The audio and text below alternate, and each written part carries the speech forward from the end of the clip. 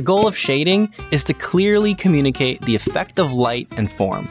Organize your values and use them correctly in your drawing. And you don't have to organize your values like this.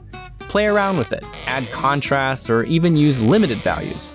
But keep the relationship of your values organized and consistent throughout your drawing. One common mistake is incomplete shadows. Scratchy shading with all these little holes.